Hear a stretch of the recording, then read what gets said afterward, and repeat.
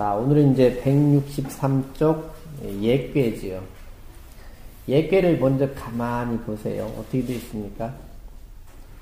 여기는 그 진하련, 그 다음에 곤괴니까 뇌지 예괴인데, 가만히 보면은 잘생긴 남자 하나가 있고, 나머지 여인들이 그 잘생긴 남자한테 빠지는 그런 기분이 있어요. 거기 기쁨이 나온다는 거예요. 정신 나간 여자들이. 그렇죠. 오늘 공부해봐야 정신이 나간 사람인지. 어, 그런데 이런 와중에서도 끝까지 지주를 지키는 분이 있어요. 음, 다 정신 나간 여자들이 있어요. 그 중에서도 지키는 여자가 있어요. 급하게 하나. 네, 한번 살펴보죠. 전을 먼저 한번 읽겠습니다.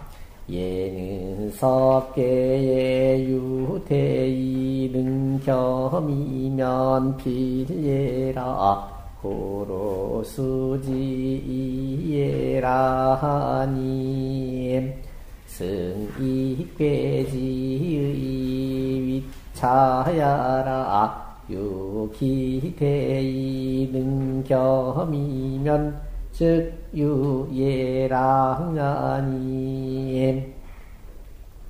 예자는 안화열럽지의라 이괴 진상군하니 순통지상이니 동이화순이람 시예야람 구사위 통지주하니 상하군음소 공음야옴 곤우승지 순하니 시통이 상하수능이라 고로위 화예지의람. 이상언지하면 되추러 지상하닌 양시 잠폐여 지중이라가 급기통이 출지에 분발 기성하얌 통창화예 구로 이예야람. 예는 리 건호 행사하니라. 예는 순이 동냐니 예지의는 소리제야 건후 행사람 후 건후 수병은 소위 공안천하니 제후 화순이면 즉 만민열복이람. 병사지흥에 중심하여리면 즉 순중이 유공구로 열예지도의 이야 건후 행사야오. 우상동이 하순하야 제후 중왕하고 사중술령지상이니 군만방취 대중에 비하여리면 불능사지 예는 하락야니 이심이 화락하얌 이응기상야람 구사일양을 상하응지하얌 기지득행하고 우이곤우진하야 이순이동구로 깊게 이해하니 이 기저미리 입 군용사야람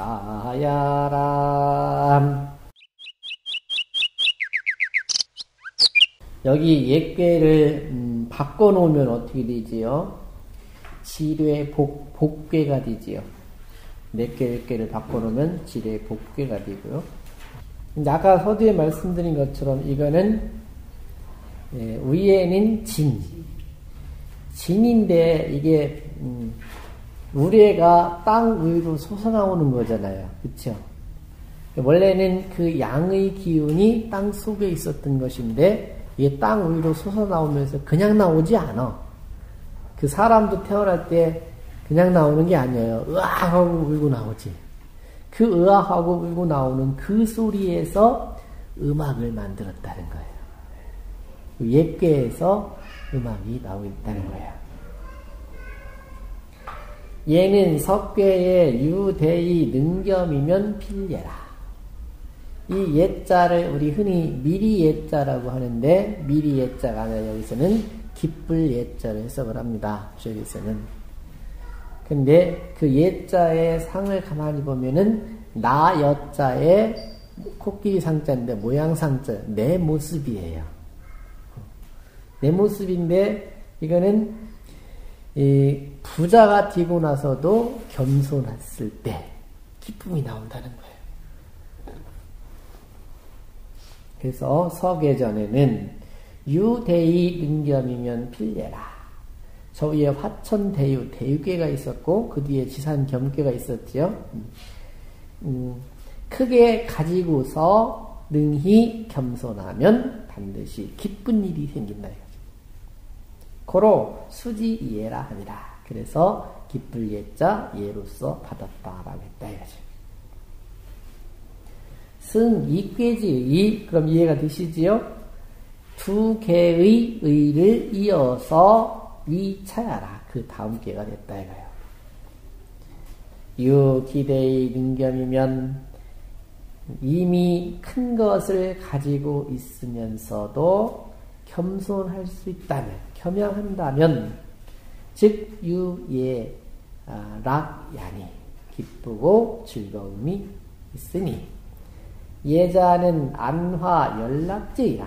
이 여기 예, 예자는 안화 연락이라는 네 글자의 뜻으로 예자를 풀이하는 겁니다.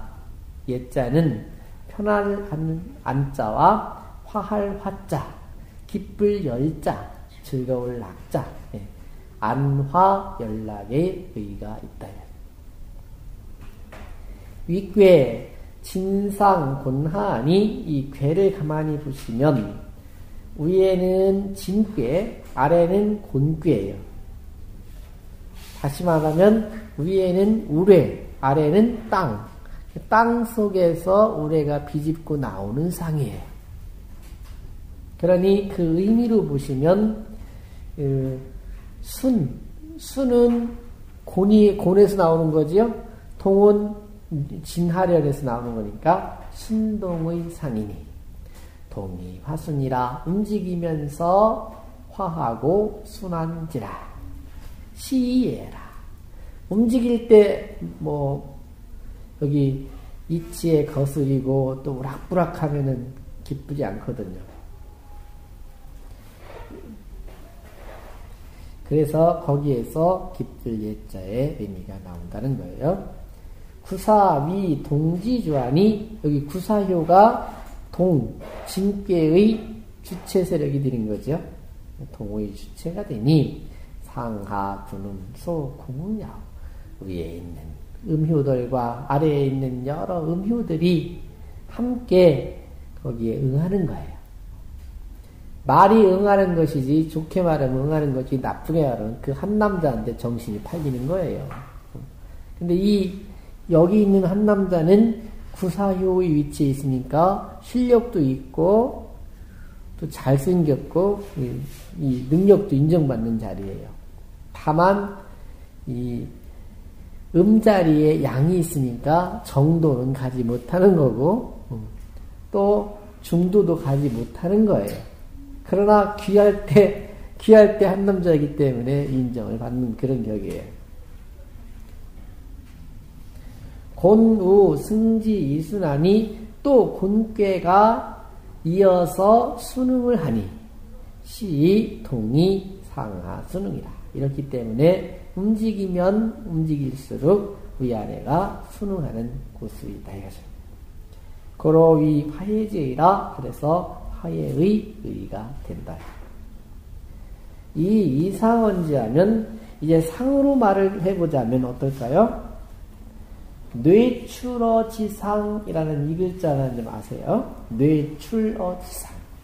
우레가 지상으로 나오는 거예요. 이, 이 상을 읽을 때 그렇게 보이십니까? 위에 진하련 우레인데 바로 밑에 땅이 있어요.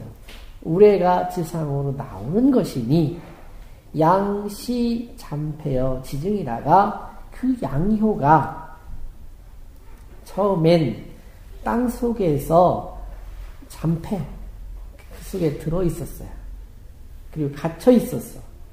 그러다가 급기동이 출지에 그 움직이면서 땅으로 솟아 나오는 데에 이르러서 분발 기성하여 그 소리를 분발해서 내는 거예요. 통창화액으로 그러다 보니까 통창화액 통하고 펴지고 화해하기 때문에 기쁠 예자가 된다. 그러면 예교에서는 음, 어떤 일이 가장 중요할까요? 기쁨이 있다. 기쁠 때 해야 될 일이 뭔가? 기쁨을 견고하게 만들기 위해서 해야 될 조건이 뭘까? 첫째는 안녕이 돼야 돼요. 질서가 잡혀야 돼요. 그죠? 위협으로부터 보호가 돼야 돼요. 그래야만 기쁨이 있어요. 그래서 이 옛계에서는 무엇을 했느냐? 얘는 이 건후 행사하니라. 제후를 세우고 군사를 행해야 이롭다. 그럴 거 아니에요? 저 위에서부터 내려온 걸 보면은 많은 것을 지금 가지고 있고 겸손하게 처행하고 있어요. 그럴 때 다른 사람들이 와서 뺏어가 버리면 아무 소용이 없어요. 그죠? 그러다 보니까 군데군데 제후를 세워야 되고 그리고 또 그런 세력들을 막아내야 될 군사를 써야 되는 거죠. 얘는 순이 동량이 얘는 순하면서 움직이는 것이니 예지의는 예의 의리는 소리 제어 건후 행사라 이루은 바가 지호를 세우고 군사를 쓰는 것이 이루음이 된다. 부 건후 수병은 무릇 제의를 세우고 병은 이게 병풍이라고 해석을 하지만 사실은 울타리를 세우는 거예요. 응? 변방에 울타리를 세우는 거, 어. 번병이라고 그래요. 번병을 세우는 것은 소위 공안천하니 그것은 천하를 함께 안정의 세계로 가기 위해서 그런 거다. 제후 화순즉 만민 열복이라 그러니 제후들이 화순하게 되면 온 백성들이 기쁘게 복종을 하게 된다. 병사지흥의 중심하열이면 병사들이 일어남에 즉 군사가 행동으로 옮길 때에 중심하열이면 그 많은 사람들의 마음속으로 화하고 기뻐한다면 이 화자는 전쟁의 당위성을 인식하는 거고 열자는 자기들이 기뻐서 거기에 동참하는 거예요. 그렇게 되면 순종이 유공이라. 그 다음 순종을 해서 공로를 갖고 오게 된다. 고로 열예지도 이어 건우 행사요. 그러다 보니까 기쁘고 좋아하는 그 토가 제후를 세우고 군사를 쓰는 데에 이루음이 되고 오 상동이 하수나야 또 위, 위에 있는 괴는 움직인다는 진, 그, 그 진괴가 되고 아래로는 순응한다는 곤괴가 되어서 제후 총왕하고 제후들이 임금을 추종하고 사중 술령지상입니다.